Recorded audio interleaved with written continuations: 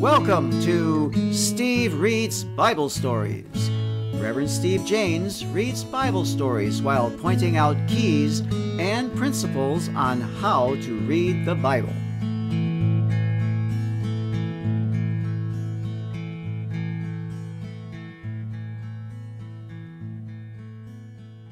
You know, when I think about what we're going to get in today, we're going to get into Jesus Christ at the Garden of Gethsemane.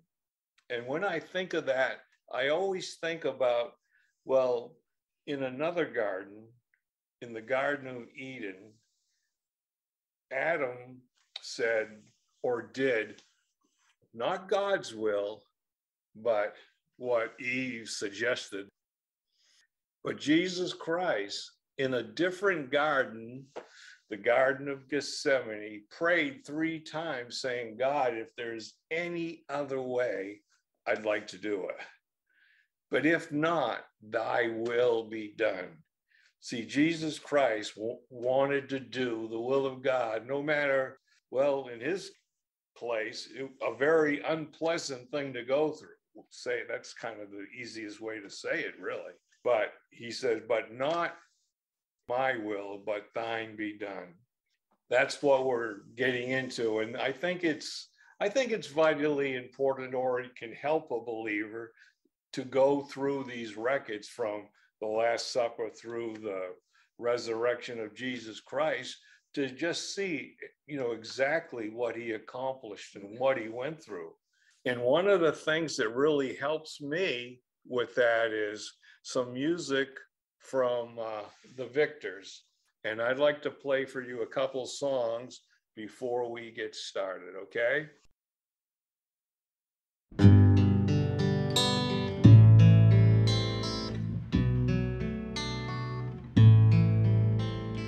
Jesus, Jesus, Jesus, there's just something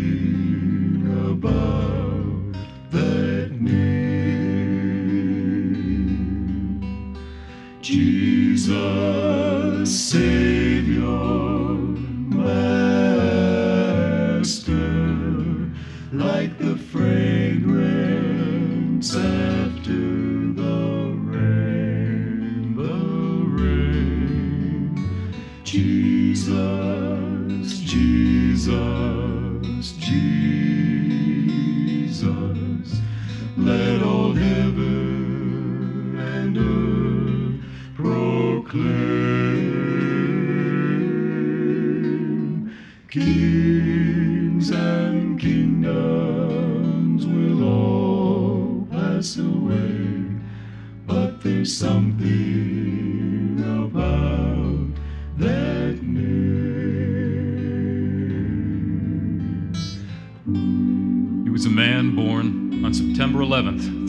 BC, in Bethlehem of Judea.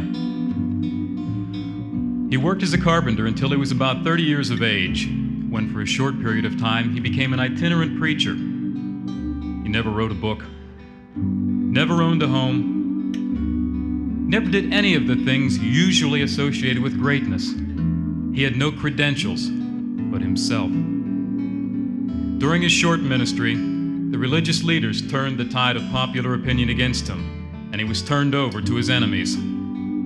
His friends deserted him, one of them even denied him. He was nailed on a tree, but God, his Father, raised him from the dead. Nineteen wide centuries have come and gone, and still he is the centerpiece of the human race, the leader of all progress. And I'm far within the mark when I say that all the armies that ever marched, all the navies that were ever built, all the kings and parliaments that ever ruled put together have not affected the life of mankind on this earth as much as that one solitary life, the Lord Jesus Christ.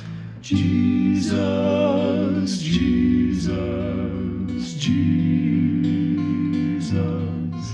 there's just something about that name. Jesus, Savior, Master,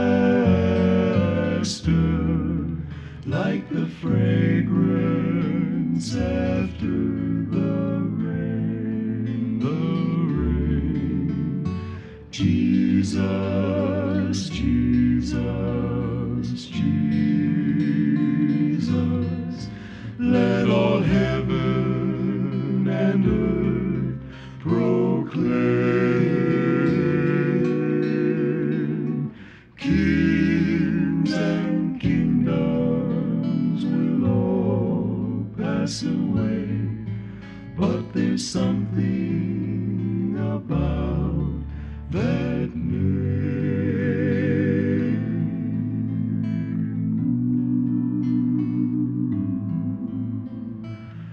Jesus.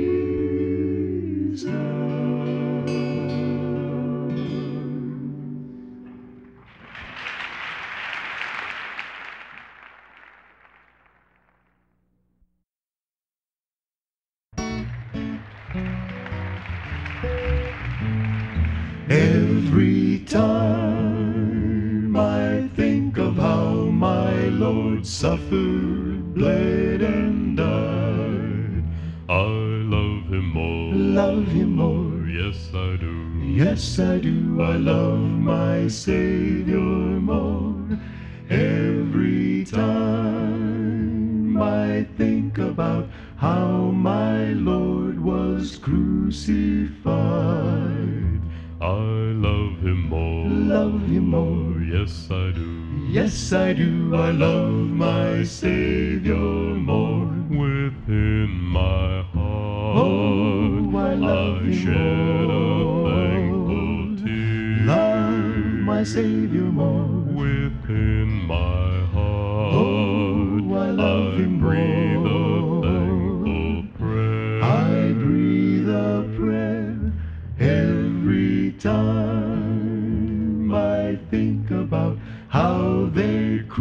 Crucified my Lord.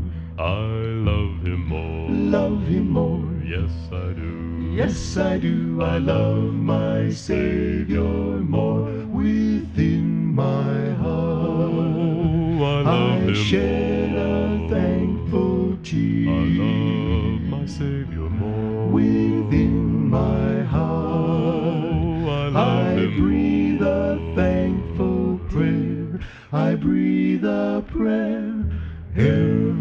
Time I think about how they crucified my Lord.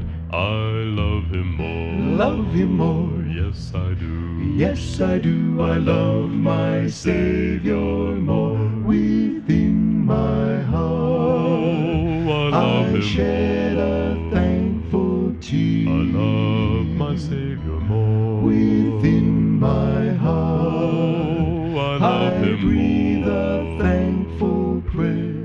I breathe a prayer every time I think about how they crucified my Lord. I love him more. Love him more. Yes, I do. Yes, I do. I love my Savior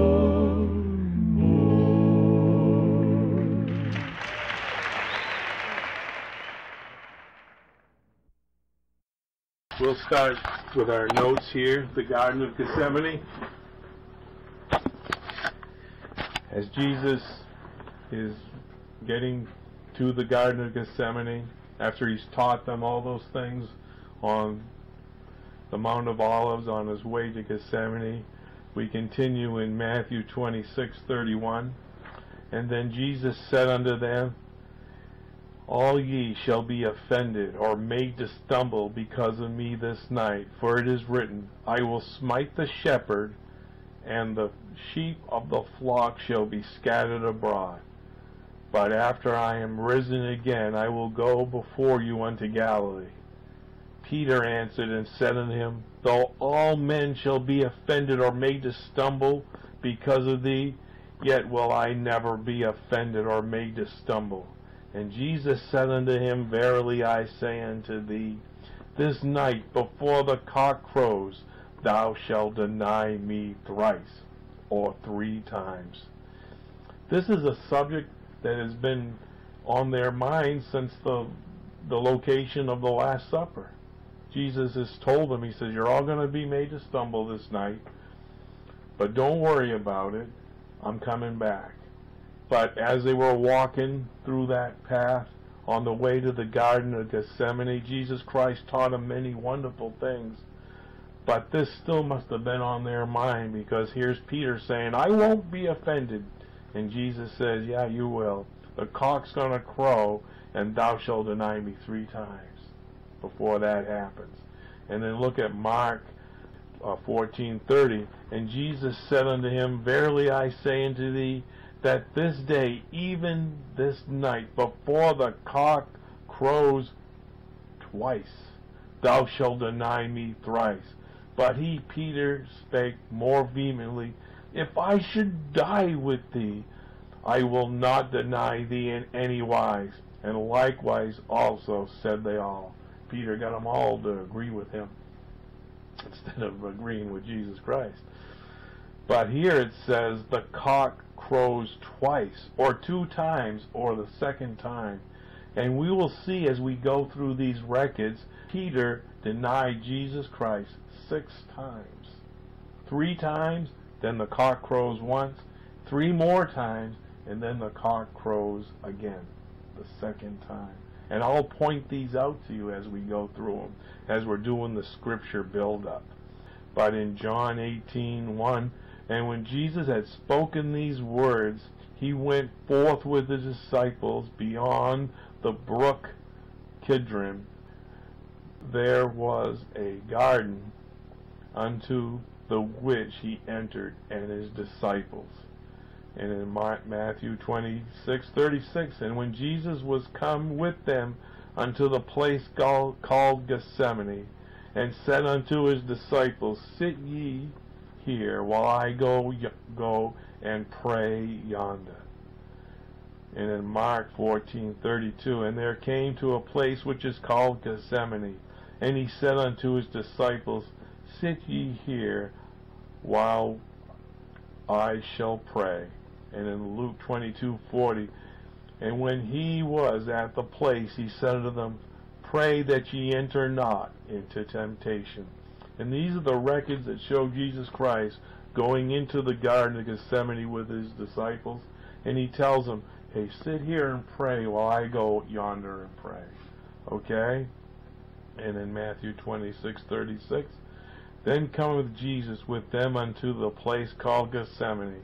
And he said unto his disciples, Sit ye here while I go and pray yonder. And he took with him Peter and the two sons of Zebedee, which are James and John, and began to be sorrowful and very heavy. And then he said unto them, My soul is exceeding sorrowful, even unto death. Tarry ye here, and watch with me. And he went a little further, and he fell on his face, and he prayed, saying, O my Father, if it be possible, let this cup pass from me. Nevertheless, not as I will, but as thou wilt. And he cometh unto his disciples, and he findeth them asleep. And he said unto Peter, What? Could you not watch or be vigilant with me one hour? And you can see Jesus Christ as a human being being a little bit agitated. He asked them to, to pray with him, to be vigilant, to watch with him, and he comes back and, and he finds them asleep and he says, What, you couldn't keep awake for one hour? And you got to remember, in the lands and times of the Bible, the hour was the shortest measure of time. They didn't have, you know, watches with second hand. They used the sundial. And every day had 12 hours in it, no matter how long it was had 12 hours in a day in the daylight time. So in the winter, the hours are pretty quick. In the summer, they were longer hours. So, and I'll bet you, you know, when they said things like, hey, I'll meet you at, at noon, people were pretty close to being there at noon. Why? Well, they could tell the time by looking up at the sky. They go, oh, it's about noon. Let's go meet whoever you were going to meet at noon But here, Jesus is saying to Peter, "What you couldn't watch me for one hour?" We today we might say, "What you couldn't stay awake for a minute?" Because he just went and prayed and came back, and there he was asleep.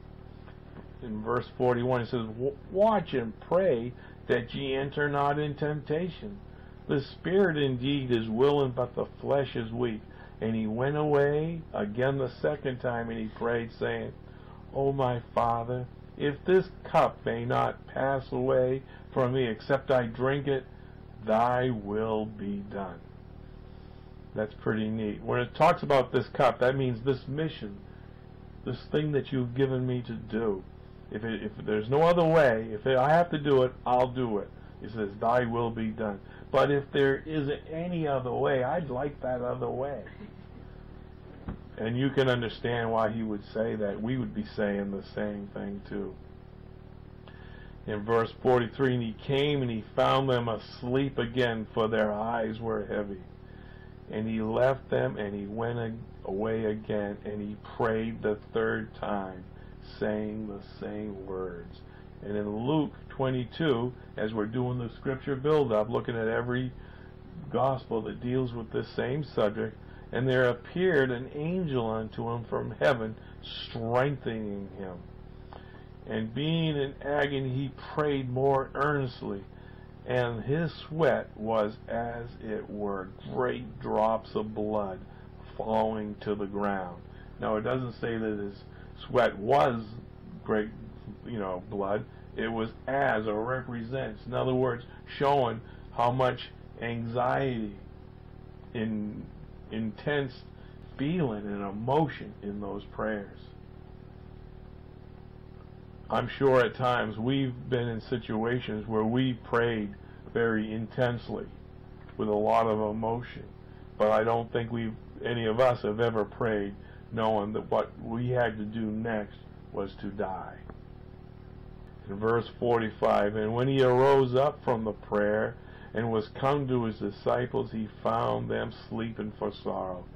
And he said unto them, Why sleep ye? Arise and pray, lest ye, lest ye enter into temptation. And in Matthew 26:45, then he cometh to his disciples, and he said unto them, and this is when he comes to them after the third time, he says, Sleep on now, and take your rest Behold, the hour is at hand, and the Son of Man is betrayed into the hands of sinners. When he comes back after the third time, his uh, way of dealing with his disciples has changed. He's not as agitated as he was before. Matter of fact, you can see that he's very tender with them. He says, Sleep on now, take your rest. You can see him sort of maybe taking the, their robe and covering them up a little bit, maybe caressing their cheek. Take your rest. Don't worry about it. I'll take care of it.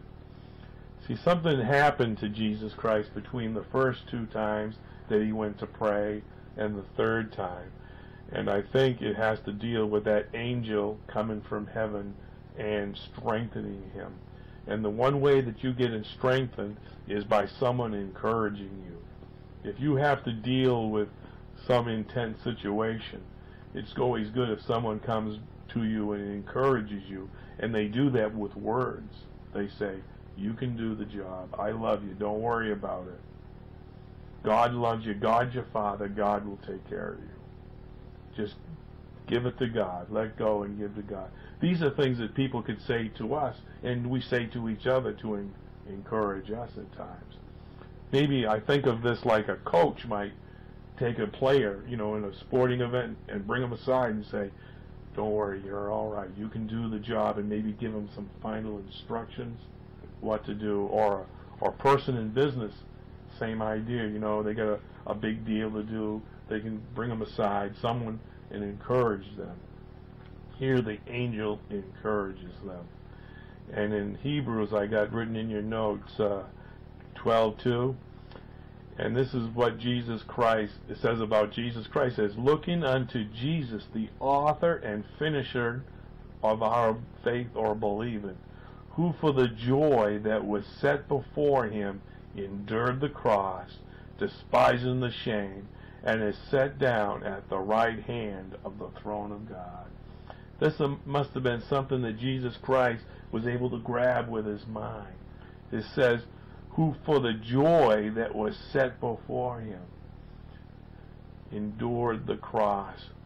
You know, in in the state of Maine, where I live in the state of Maine, they have paper mills, and sometimes these paper mills are uh, closed down. They have shutdowns for a little while while they fix an opportunity or a problem they have. And when they do that, they hire crews to come in and take care of this problem very quickly.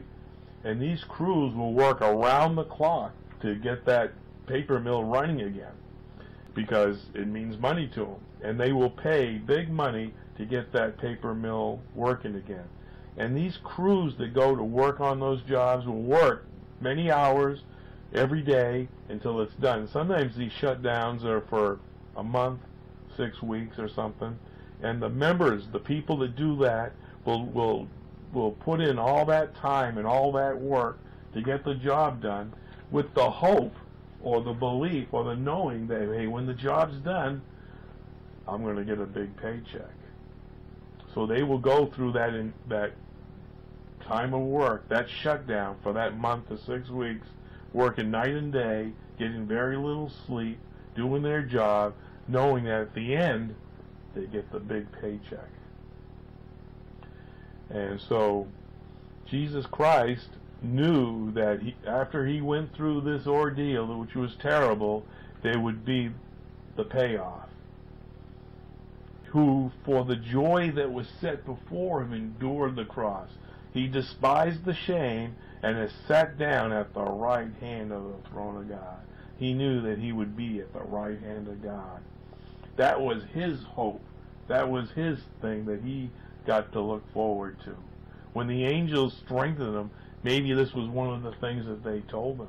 But you know what? All of us here, we have a hope too we endure this life and we know that when Jesus Christ returns, we're going to be with him and we got eternal life and that we're going to, it says in God's word that we so shall we ever be with the Lord. That's our hope. We can put up with a lot of stuff too if someone encourages us with the hope of what we have for us. And like the angels strengthened Jesus Christ, and he, and he didn't like what was going to happen to him, but for the joy that was set before him. He endured the cross, despising the shame, and is sat down at the right hand of the throne of God. Let's go to Matthew 26, 46. It says, Arise, let us be going. Behold, he is at hand that doth betray me. And while he yet spake, lo, lo, Judas, one of the twelve, came, and with a great multitude with swords and staves from the chief priest and the elders of the people. And look at John 18, 2. It says, And Judas also, which betrayed him, and knew the place, he was well aware that he would be in that garden. For Jesus oftentimes exhorted hither with his disciples. I'd like to just share, and, and, we, and I've been talking a little bit about Jesus Christ, the great master teacher. And it says here that Jesus Christ was was oftentimes went to the garden with his with his disciples. Jesus Christ taught in wherever he was, and he used public places like this beautiful garden of Gethsemane, which was a beautiful garden. And, he, and after meals, he must have walked up there many times. It says oftentimes. Whenever he was in Jerusalem, he probably went to this garden at night and sat there and taught God's word to his disciples. So this was something that he did oftentimes in his teaching method, just hanging out with his disciples. In verse 3 says, And Judas then, having received a band, and that word is a word for a cohort, which is a military term for a group of soldiers, of men, and officers from the chief priests and the uh, Pharisees, which came hither with, with lanterns, torches, and weapons. They came to Jesus Christ.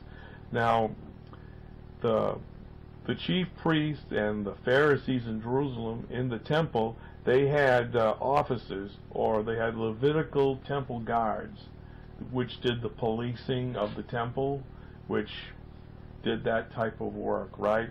And then in Jerusalem also, which was occupied by the Roman Empire at that time, they had their soldiers there. And at this time of year, with the uh, Passover feast being just a couple days away, they would be in the, the Jerusalem area, police in the area, the extra police. So, when they came to Jesus Christ, they came with both the temple guards and the Roman soldiers, a cohort, which is about a hundred soldiers. So there's a hundred soldiers coming with their weapons, their lanterns and torches, right? Plus the Levitical priest officers, temple guards that came. So there was a good multitude that came after Jesus Christ. And in John chapter 18, verse 4, Jesus therefore, therefore knowing all things that should come unto him, met, went forth and said to them, Whom seek ye? And they answered him, Jesus of Nazareth. And Jesus said unto them, I am he. And Judas also, which betrayed him, stood with them.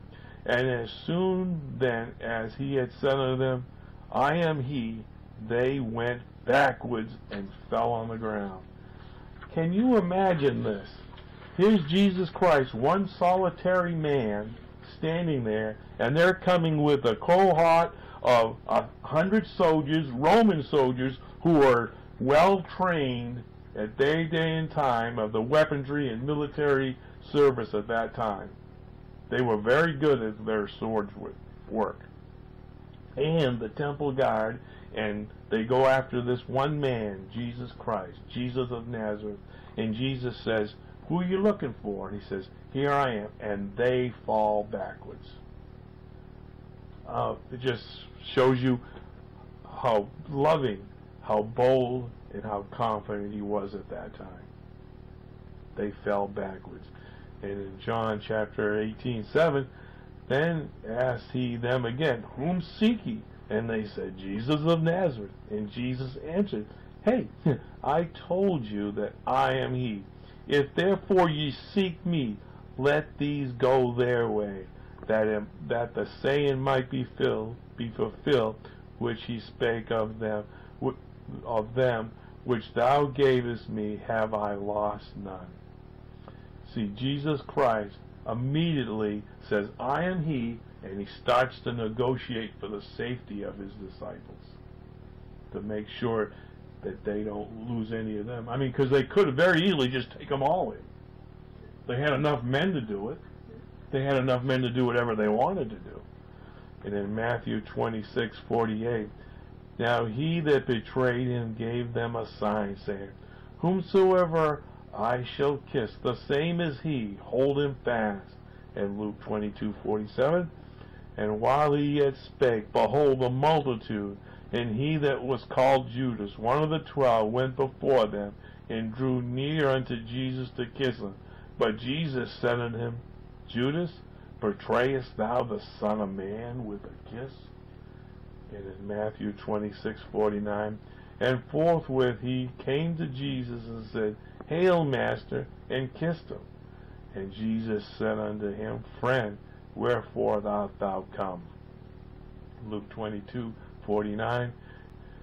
When they which were about him saw that he what would follow him, they said unto him, Lord, shall we smite with the sword? And one of them smote the servant of the high priest and cut off his ear.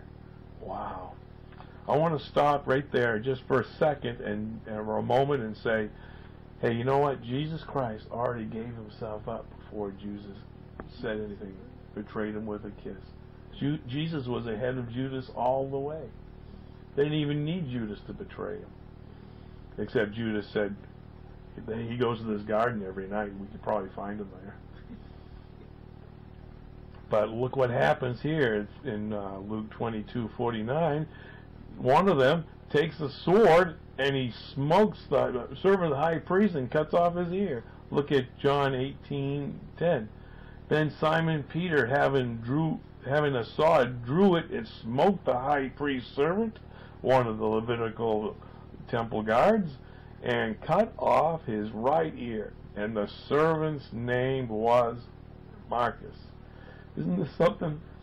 When you do the scripture buildup, if you just read Luke, you wouldn't know that it was Peter, and you wouldn't know the name of the servant of the high priest. By doing scripture buildup, you get a little bit more information by reading all the records from all the different gospels as to what happened. And that's why what we're doing in this class is we're going through all the records in chronological order and looking at all the records from all the different gospels on each event to get a clearer picture of what happened. And what we see here is that the servant, the, the, the one that drew the sword, his name was Simon Peter, and who he, the servant of the high priest, his name was Malchus. And look at Matthew 26:50. And Jesus said unto them, Friend, what for art thou come? Then they came, then came they and laid hands on Jesus and took him. And behold, one of them which were, were with Jesus stretched out his hand and drew his sword and struck the servant of the high priest and smote off his ear. And then said Jesus unto him, Put up again thy sword into its place, for all they that take the sword shall perish with the sword. And see, we're doing the scripture build up here. We're seeing what happened at that situation, one record or one event at a time. And here Jesus says, this statement here, it says, For all they that take the sword shall perish with the sword. And many people have taken that verse there and they've pulled it out of that context and they said, see, although Jesus Christ said that all they that take a sword shall perish with the sword. And what they try to infer is that anyone who takes up a weapon will die by a weapon. But we know that that's not really true because policemen all carry guns, right? And not all those that are policemen have died by being shot by a gun, right? Not every one, not every policeman ever, right? And all those that have gone to war that had had to use a sword or a weapon of some sort, they all haven't died by a weapon. A lot of people have gone to uh, up to war in military conflicts, have did their time in service, then have come back home and never even touched a weapon again. Lived good lives and didn't and died of old age. Right. So they didn't die by the sword, right? Right. So you can't take this one little phrase and take it out and say, he say, he, Jesus Christ said, all they that take the sword shall perish with the sword. We have to use build, uh, scripture build-up. And here we use scripture build-up to take into account the situation. We have to consider his statement within the context of the situation. We also have to take into account to whom he was speaking. Who was he speaking to? He was speaking to Peter, to be exact, of whom what he said was true. Was it true that if Peter picked up his sword and went after him that he would die? I think it's true because there was over a hundred soldiers there with weapons. How many weapons did his disciples have? Two. Two little daggers, right? So, was it true to what Jesus said to that situation? Yes. And to whom what he says was addressed. It was addressed to that specific situation. If Peter took out his sword and sworn to use it, he most definitely would perish by someone with a sword. So that's what we have to do. You can't just take a phrase out and say, Jesus said this, and so if you take a sword, you're going to die by it. Because we know that's not true just by life in general. There's been police officers who have, who have had guns who have never even drawn their guns. Let's go to Matthew 26:53, and then he's telling Peter, "Thinkest thou that I cannot now pray to my Father, and he shall presently give me more than twelve legions of angels, which is seventy-two thousand angels? But how then shall the scriptures be filled? Thus that thus it must be. And what he's saying is, this is what needs to happen. This is what needs to happen. Put your sword away. And Jesus Christ is already negotiating for the safe travel and passage of his disciples. Look at Luke 22:51. And Jesus answered and said, Suffer ye thus far, or just hold it a moment.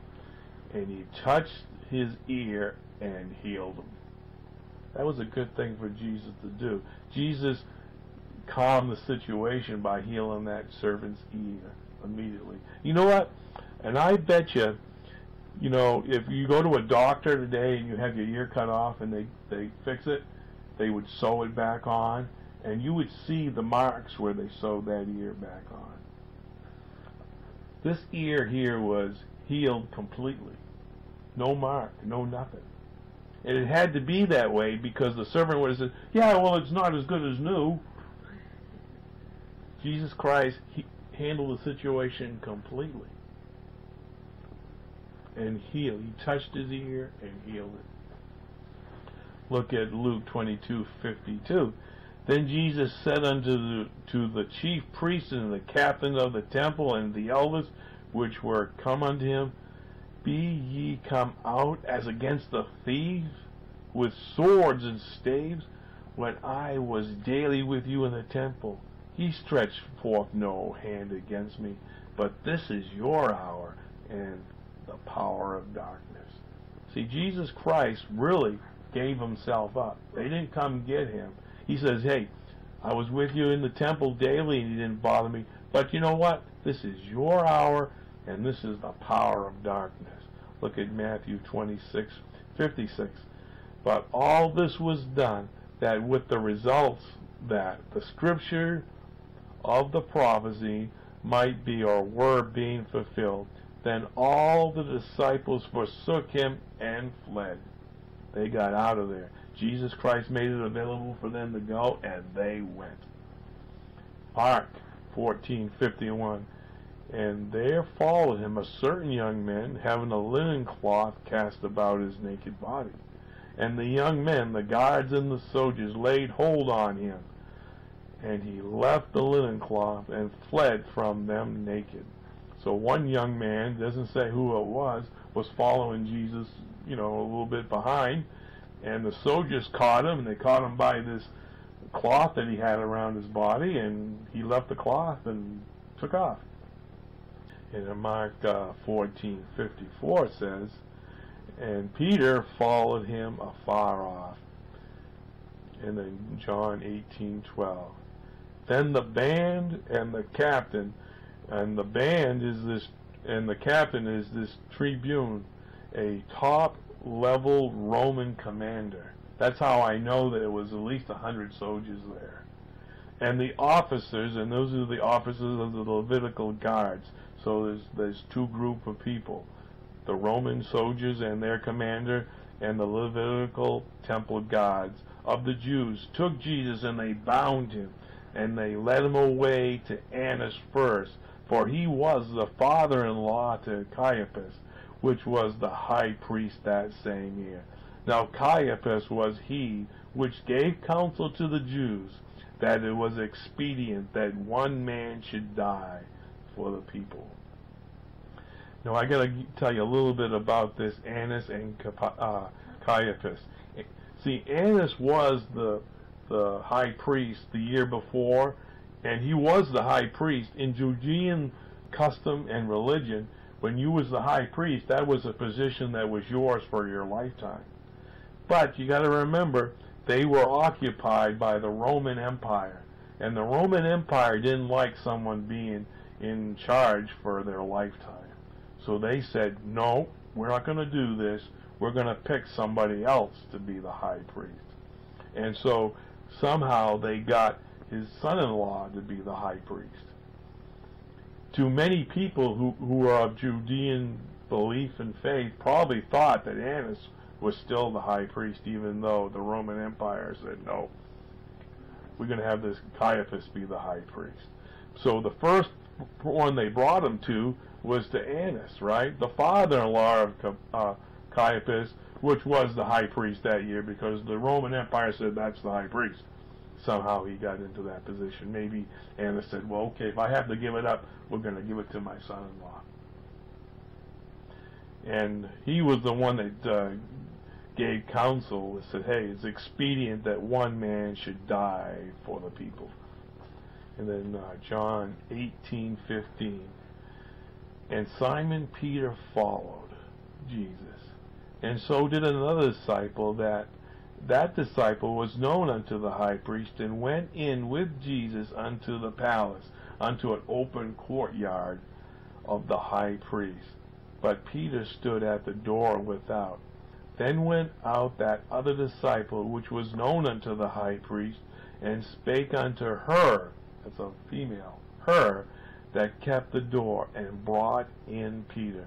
Then said the damsel, the girl, the woman that took care of the gate, right? That kept the door unto Peter. Art not thou also one of this man's disciples? He said, I am not. This is Peter's first denial. I am not. And the servant and the officers stood there, who had made a coal of a fire of coals, for it was cold, and they warmed themselves. And Peter stood with them and warmed himself. There was a court, an outside court that had a gate to it. There was this woman that kept the gate of the high priest. And one disciple was known, it was able to get in, and he went back and said, hey, would you let Peter in? And she let Peter in, but then she goes, hey, aren't you one of his disciples? And he goes, I am not. And then Peter goes and he warms himself by the fire. And there's a few of the guards and men of the temple there warming themselves by the fire. This was Peter's first denial, and it was the only one that was done while Jesus was before Annas. It was the, only one done that. As we continue in this, at, at that night, at that trial that's going to be coming up real soon here, we'll see that Jesus is taken back to uh, Caiaphas for the first trial, and that's where we'll pick it up next time. I'd like to play the last song here for you in closing.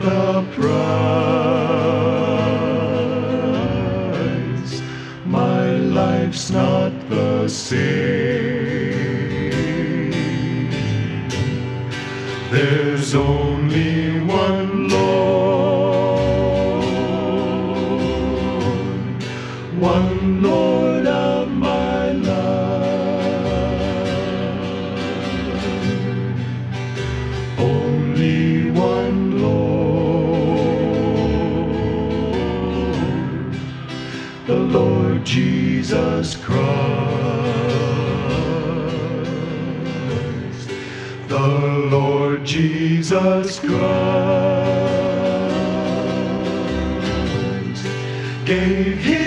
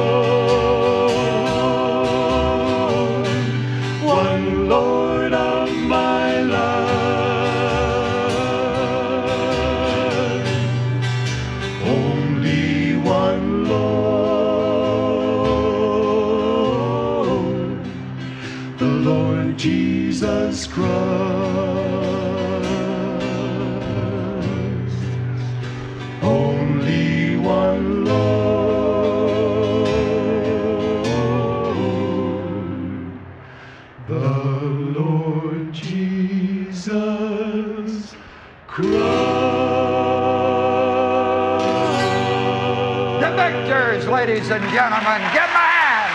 Wonderful. Bless your heart. The episode is complete, so head over to stevejaynes.com. While there, sign up for our newsletter.